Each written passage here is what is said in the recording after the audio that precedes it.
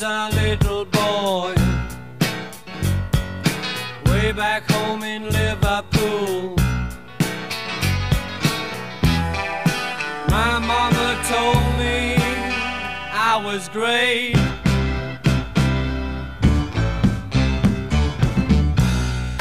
Then when I was a teenager, I knew that I had got something going.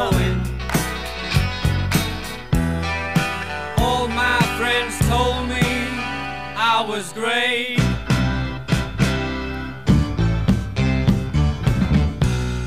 And now I'm a man. A woman took me by the hand. And you know what she told me? I was great.